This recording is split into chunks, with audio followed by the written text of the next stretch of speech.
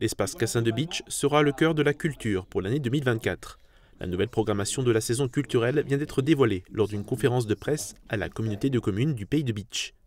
Elle avait déjà démarré avec le spectacle La folle histoire du couple le 3 février.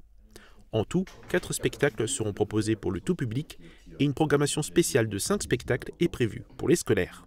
On voulait évidemment aussi euh, proposer un certain nombre de moments d'évasion, de moments de, de, plaisir, et donc euh, cette programmation culturelle répond à ces, euh, à ces priorités-là. Et je crois qu'on a besoin d'avoir une programmation culturelle qui s'enrichit d'année en année, lorsqu'on voit évidemment la difficulté de la société, lorsqu'on voit les interrogations, et on sait que le, la culture et le savoir sont le, le meilleur antidote à cette sinistrose.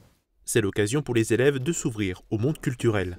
Un voyage est prévu dans les années 80 pour les plus grands. Le groupe tribute ABBA Forever et la folie des années 80 seront de passage à Beach.